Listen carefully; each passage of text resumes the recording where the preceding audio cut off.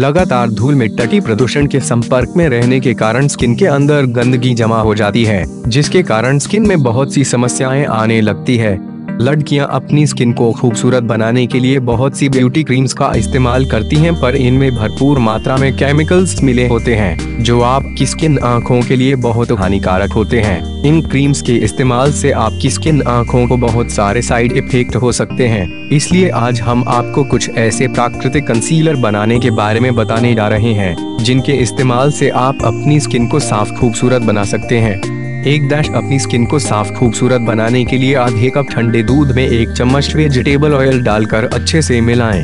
अब इस मिश्रण को अपने चेहरे पर अच्छे से लगाएँ। रुई की मदद से अपने चेहरे को साफ़ करें दो डैश अगर आपकी स्किन मिली जुली है या अधिक ऑयली है तो आधे चम्मच नींबू के रुपए में एक चम्मच खीरे का रुपए ठंडे दूध को मिलाकर अपने चेहरे पर लगाकर 10 मिनट के लिए छोड़ दें फिर इसे ठंडे पानी से साफ़ कर लें। तीन डैश चेहरे को साफ़ करने के लिए सबसे पहले अपने चेहरे को ठंडे पानी से धो लें। अब एक चम्मच बादाम के तेल को लेकर इसमें थोड़ा सा सिरका या नींबू का रुपया मिलाएँ। फिर इसे अपने चेहरे पर लगाएँ। थोड़ी देर के बाद गर्म पानी से साफ़ करें। चार डैश अपने चेहरे पर नारियल का तेल लगाकर मसाज करें। एक घंटे के बाद चेहरे में नींबू का रुपए लगाएँ। फिर गर्म पानी से धो लें। ऐसा करने से आपकी स्किन अंदर से साफ़ हो जाएगी।